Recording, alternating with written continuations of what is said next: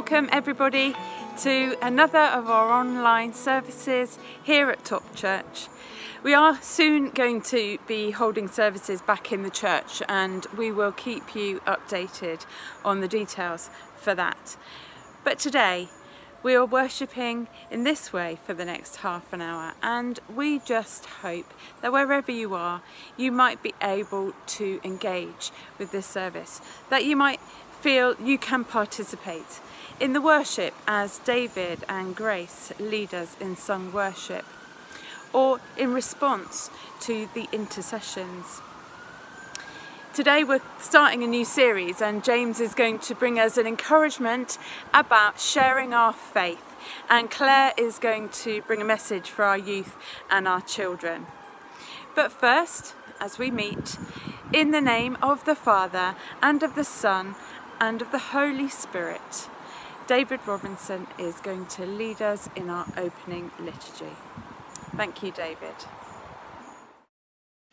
Jesus invites us to a way of celebration, meeting and feasting with the humble and the poor. Let us walk his way with joy. Jesus beckons us to a way of, of risk, letting go of our security.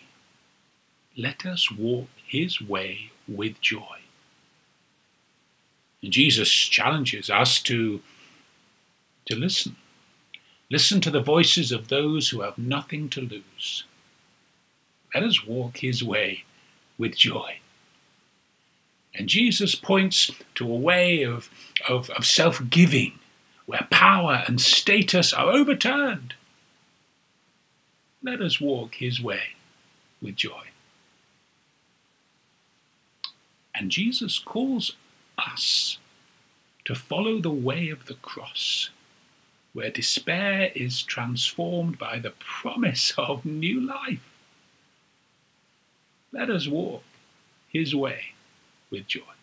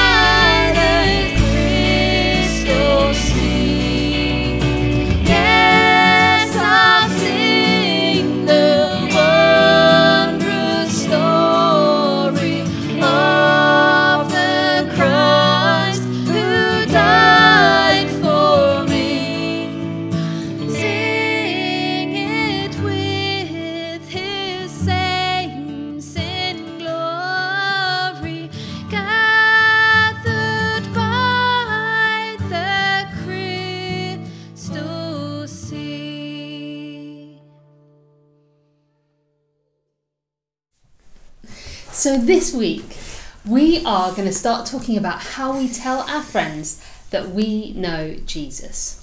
So Well- when I w- What? Tell our friends that we know Jesus. yeah, I haven't told any of my friends I know Jesus or that I go to church. well, haven't you? No. Well, do you want to tell them? Well, yeah, I think so. Okay. Just, I don't know how to start really. Hey, that's all right. We'll figure it out together. Okay. Okay. Sometimes it's hard telling your friends that you're a Christian because they have all these questions and I don't have all the answers. Hmm. Maybe this will help. The other day, Tom, it was my friend's birthday, and he had a huge birthday cake. This is my piece here.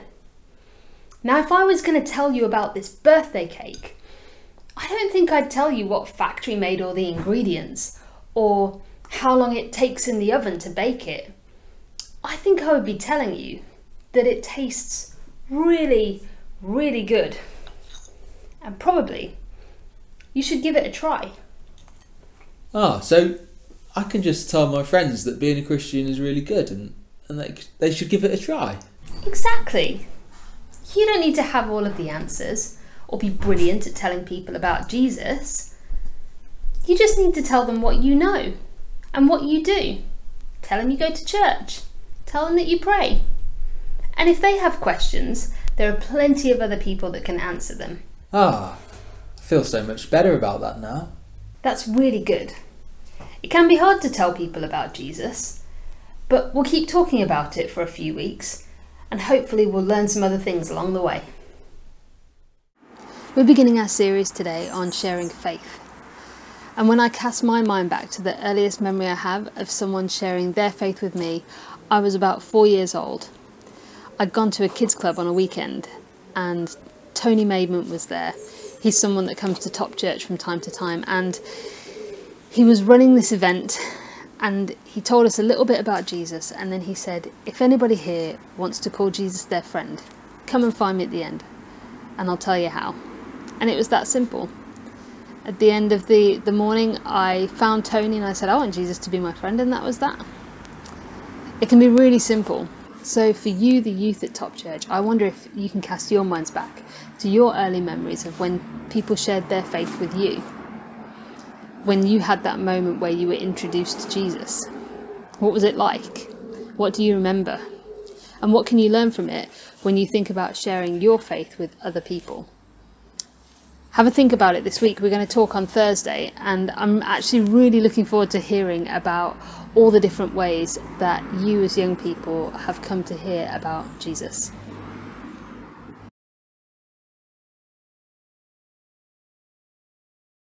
So, how did I become a Christian?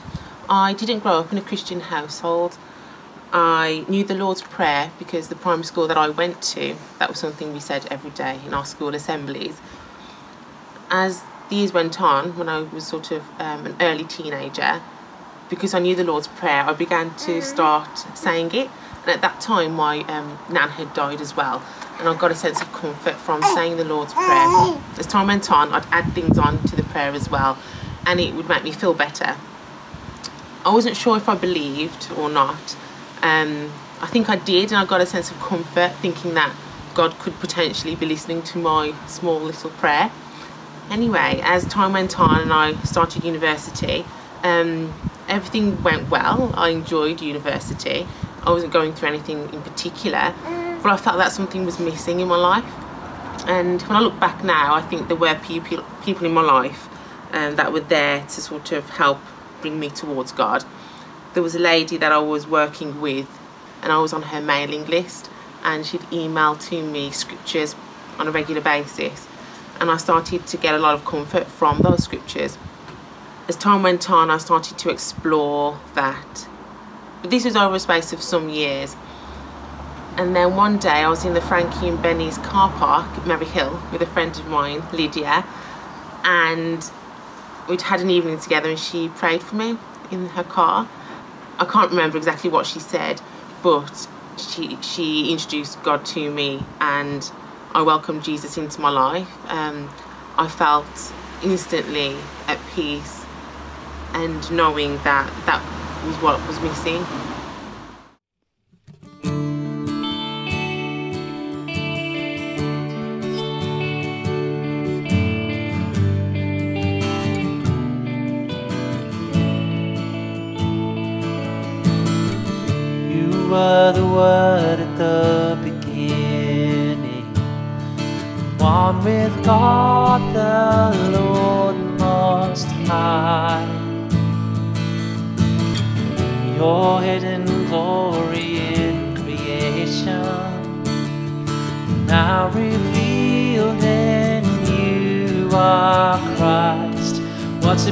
Beautiful name it is! What a beautiful name it is! The name of Jesus Christ, my King. What a beautiful name it is! Nothing compares to this. What a beautiful name it is! The name of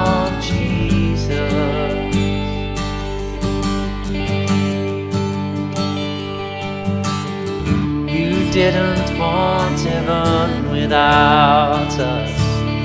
So, Jesus, you brought heaven down. My sin was great, your love was greater.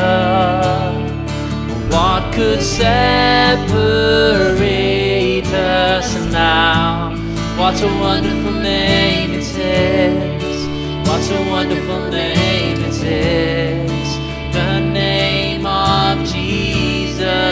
Christ, my King. What a wonderful name it is. Nothing compares to this. What a wonderful name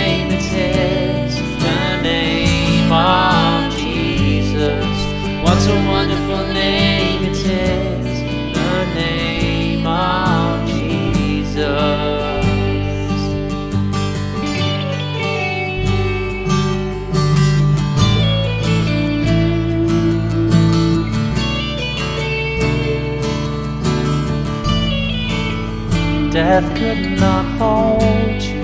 It felt all before you. You silenced the boast of sin and grave. The heavens are roaring the praise of your glory. For you are raised to life again. What a beautiful name it is.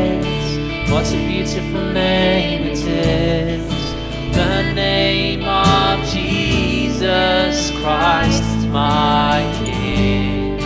What a beautiful name it is. Nothing compares to this. What a beautiful name it is. The name of Jesus. What a beautiful name it is. The name of Jesus. Such a beautiful name it is. The name of Jesus.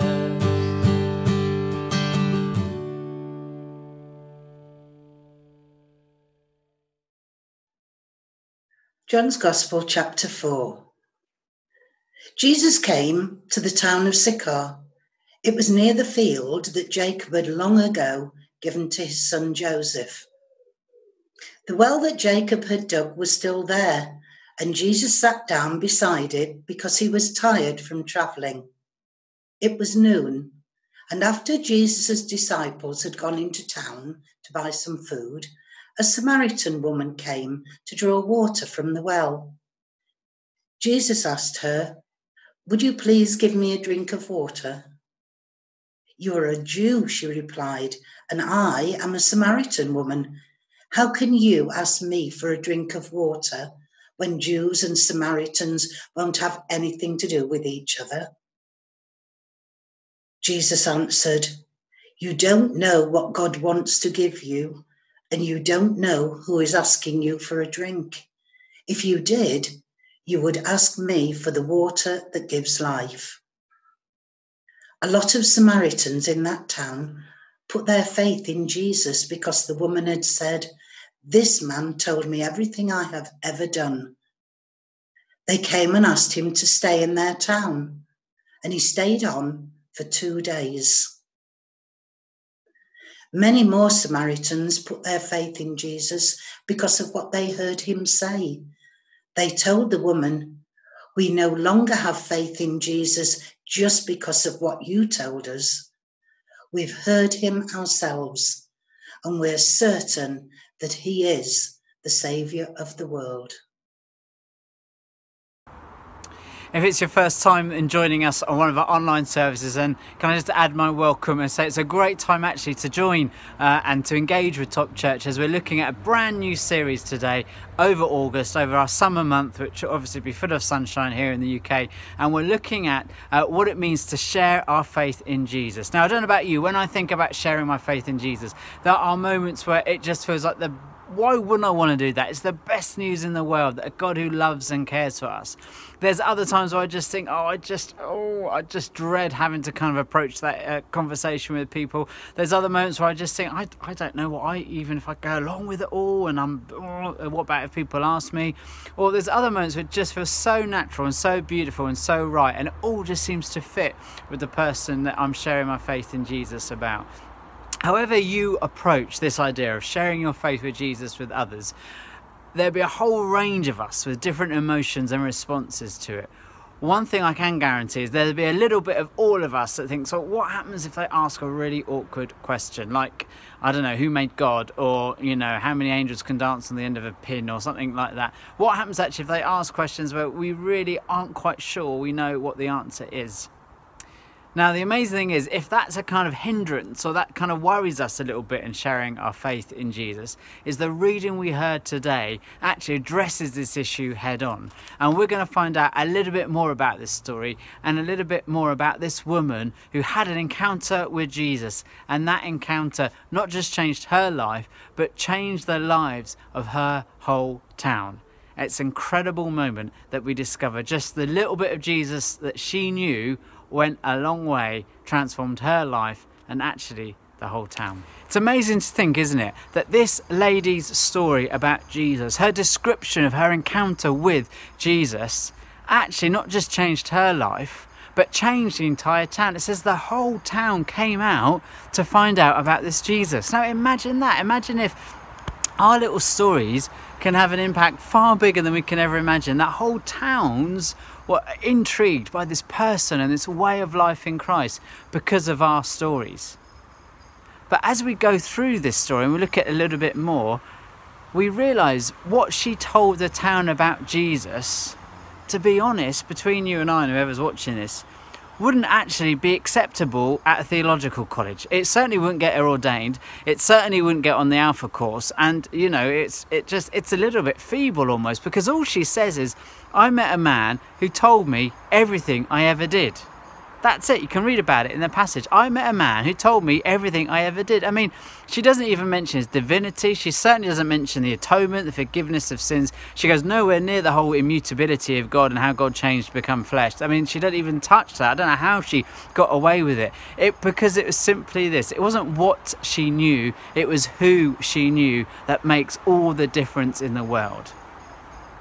It's our stories of our own experiences of Jesus that we are called to share. We're not called to share great doctrines of the faith. Some of us might be, but we're not really called to, to that. We're not called to be able to defend the church on all its mistakes. What we're called to is to share our little story about Jesus. And as we do that, our little bit, which might not have all the theology right, that might not kind of nail everything down about the identity of Christ, it might not answer all the questions about suffering and pain and, and different religions, it probably won't answer any of those questions, but what it will do is this. When you speak your story out, it will so capture other people's imaginations and they will begin to have a hunger in their hearts and they will begin to think, well, that person really met somebody special and I want to know more about that person. It isn't at the end of the day what we know, it's about who we know.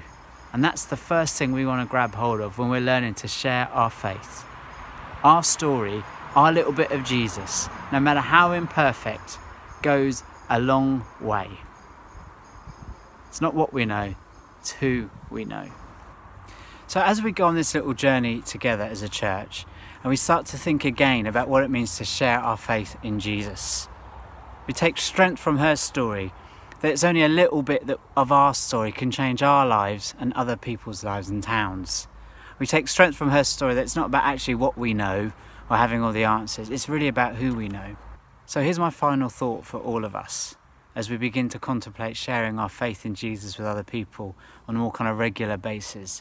It's simply this this lady said, I met a man who told me everything I ever did. That was it. That was her story. If you had to tell your story, maybe even in a sentence, if you had to describe your encounter with Jesus in a sentence, what would it be? I met a God who cared for me. I met a God who gave me meaning and purpose. I met a God who sorted out my head. I met a God who kind of answered my prayers. I met a God who actually gave me an amazing sense of peace and rescued me. What would your story be? Maybe it just might be like that lady's. It may not have all the correct theology, but do you know what? It's your story and it's your encounter with Jesus. And what we want to see at Top Church is not a bunch of clever people you know, we don't want a church that's got more degrees than a thermometer. What we want is a church full of people who've got simple, beautiful, profound, meaningful stories about Jesus and have confidence that as we share our stories, I met a man who told me everything I ever did. As we share those stories, that we find actually it changes our lives, other people's lives. And you never know, maybe our town, maybe our borough, maybe something will happen again when people want to know a bit more about this Jesus. Amen.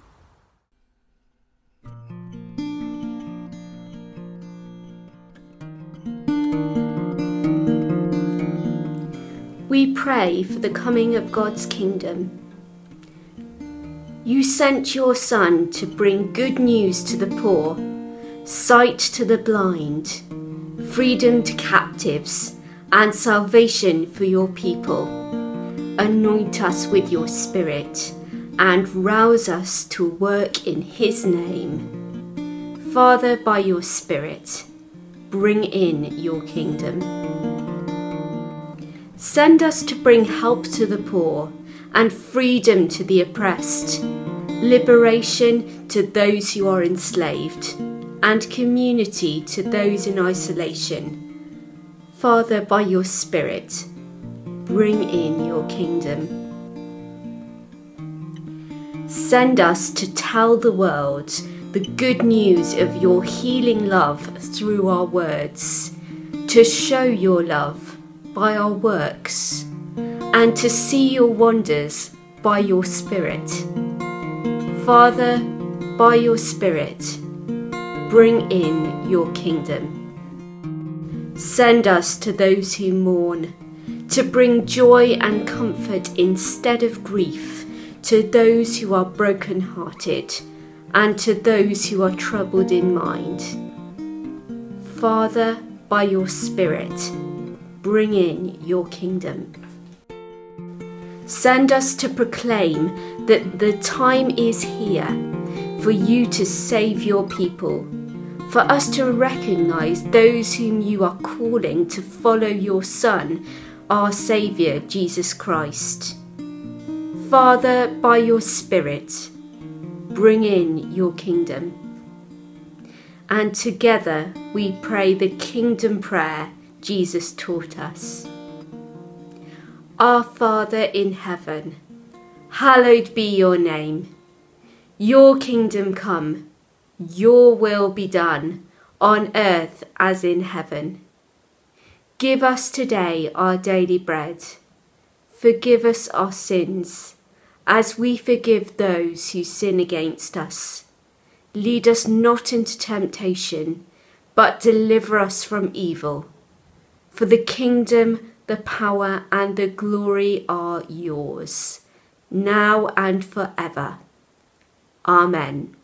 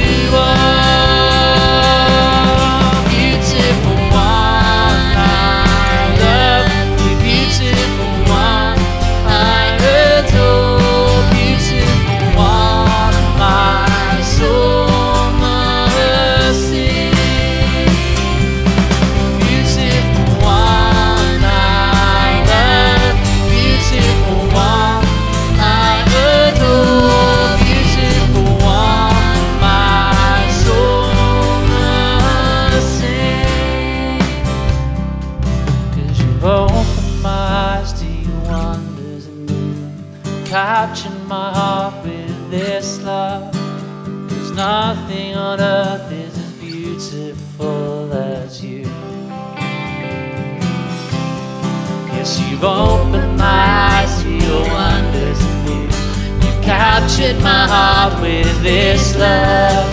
There's nothing on earth is as beautiful